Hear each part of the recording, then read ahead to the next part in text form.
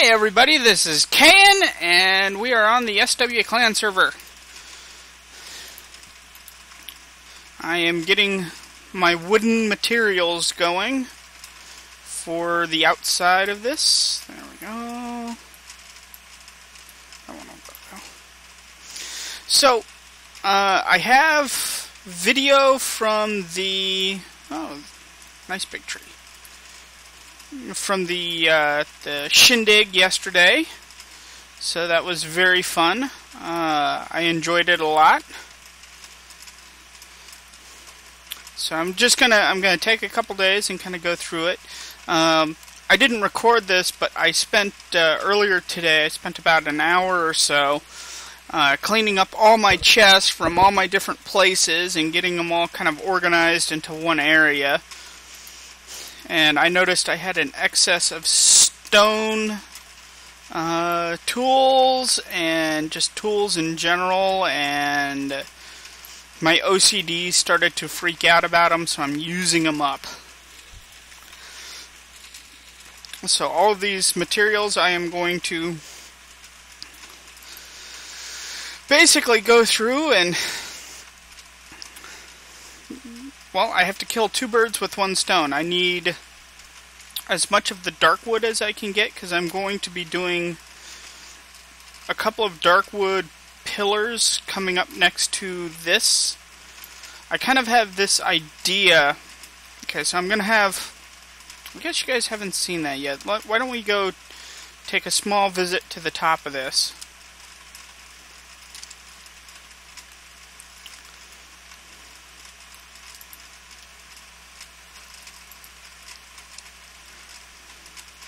Know you've seen me. You are just going to piss me off, aren't you? Okay. So long as he doesn't knock me off here, I'm okay.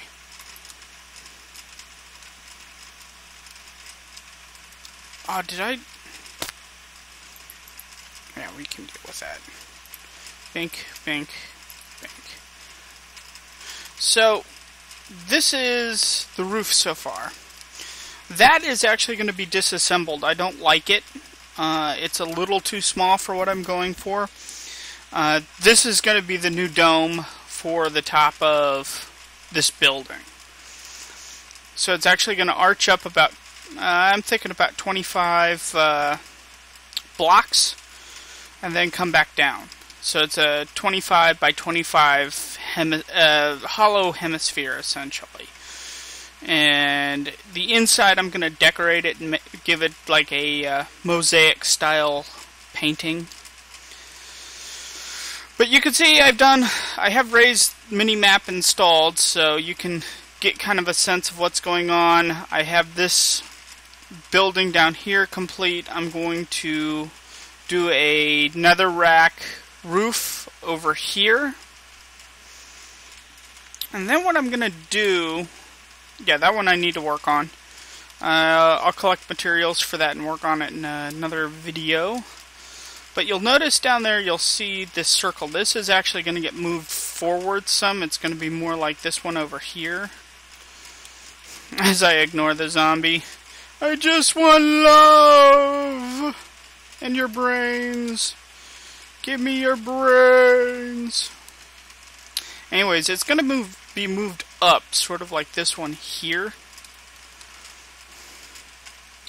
And what I'm thinking about doing, and then I'll put another one over here, is actually these are going to support a uh, another building that's going to come on, not quite attached to this building, but uh, it, there's going to be another building over this way and another building over that way coming off of this. So it's going to be pretty epic, this area, when I finish it. But I'm not going to do them in sandstone. I'm already wiping out an entire desert just working on that. There'll probably be another thing whatsoever. Um, I just got a message. So, I had a blast yesterday with the master classes for Race for the Wool. Um, tons of fun. A uh, little bit of miscommunications here and there. Uh, there's like at one point the cannon class, the class I was in, um, they I don't know quite what happened with the cannon class, but it was like I was in the orange class, but when we TP'd, we TP'd into the blue class, but weren't but no one exactly knew it, so we had no idea what was going on. And the, the poor teachers for our class was wondering where the class was, and the students for our class was wondering where the uh, the teachers were. So it was utter chaos, just utter chaos. It calmed down. It got a little less ranty, um, but whatever.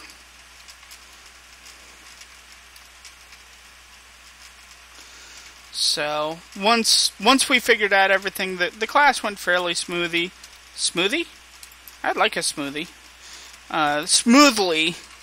Um, the teacher, I think, was fairly annoyed by that point, so he could have been just slightly better, but it was still a, a fantastic class. Um, so later, I was when I was doing my because we had a bunch of casual games.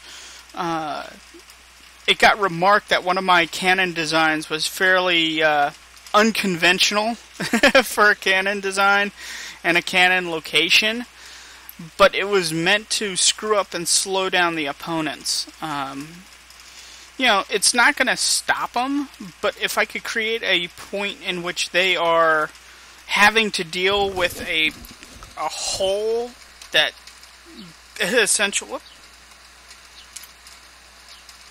cancel, that essentially slows them down, then that's a good thing. Uh, so there's, I'm talking with people about maybe uh, starting a race for the wool team. Uh, not related to SW Clan, but I would still like to set up an SW Clan uh, uh, race for the wool team because I think that would be pretty cool. I just have to find members that would be not only willing to do it, but also uh, uh, maybe you know, bring themselves out a little bit more to do it. So, we'll see. In fact, I just got a Skype message asking about that, so I will uh, talk to this guy here in a moment after I'm done recording this.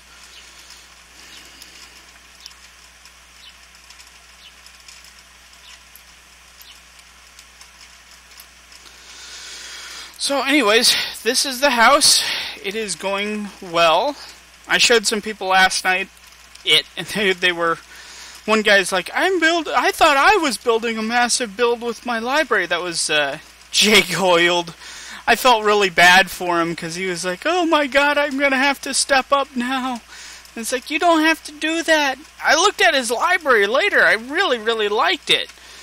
Uh, I think he can. He, if, he wants to expand it out, uh, which I don't think he should.